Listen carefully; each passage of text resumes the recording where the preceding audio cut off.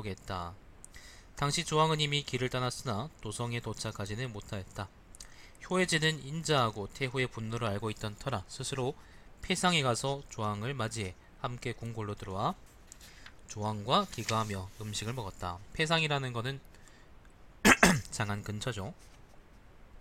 여태호는 조왕을 죽이려고 했으나 기회를 얻지 못했다. 효혜제 원년 12년 효혜제는 새벽에 활을 쏘러 갔으나 조왕은 나가 나이가 어려서 일찍 일어날 수 없었다. 여태호는 그가 혼자 있다는 말을 듣고서 사람을 시켜 독주를 가져오기 위해서 그에게 먹였다.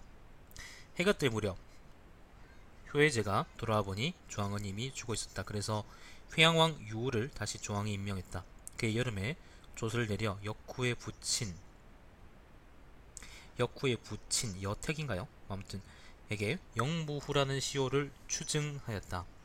태호는 마침내 척부인의 손과 발을 자르고 눈을 뽑고 귀를 태우고 벙어리가 되는 약을 먹여서 돼지우리에 기거하게 하고 그녀를 사람 돼지라고 불렀다.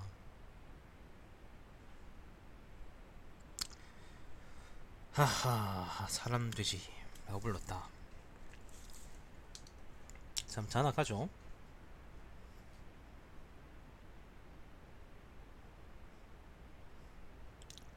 잠깐만요. 사람 돼지라 그랬다. 사람 돼지. 참 마음이 좋지 않네. 이걸 보면서도. 며칠이 지난 후에 태우는 효혜제를 불러서 사람 돼지들을 보도록 보도록 하였다. 그러니까 척부인이죠. 그것을 본 효혜제는 사람들에게 물어보고 나서야 그녀가 척부인이라는 것을 알고 큰 소리를 내며 울었다. 효혜제는 어, 효혜제는 이 일로 인해 이 일로 인해 병이 나서 1년이 다 되도록 일어날 수 없었다. 효혜제는 사람을 보내 태호에게 말하기를 이것은 사람이 할 짓이 아니다. 나는 태호의 아들로서 다시는 천하를 다스릴 수 없게 되었다 라고 했다.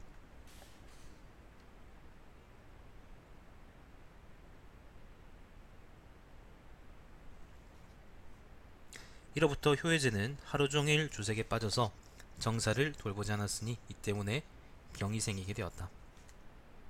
잠시만요, 여러분.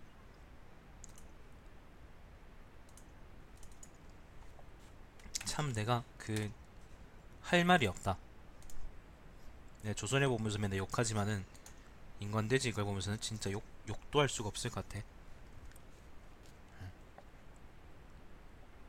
자, 2년 초나라 원왕 아, 잠깐만요.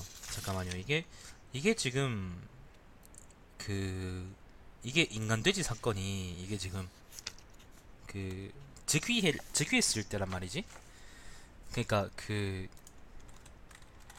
어, 효혜제가 이제 막 황제 즉위했을 때의 일이란 말이에요. 효혜제. 저는 해제인데 이 사람이 기원전 210년생이고요. 기원전 195년에 즉위했다고 합니다. 그러니까 15살쯤 됐을 때 즉위해서 이제 지금 이 사건을 겪은 거예요.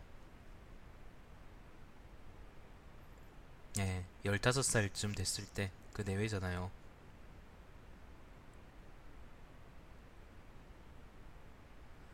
하하, 참. 네, 정 기자님 안녕하세요. 이뭐 참.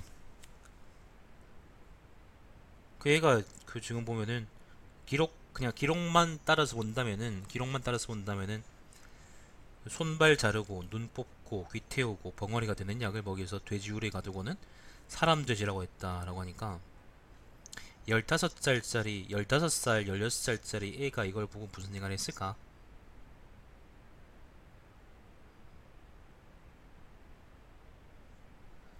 얘는 뭐그 그 뭐야.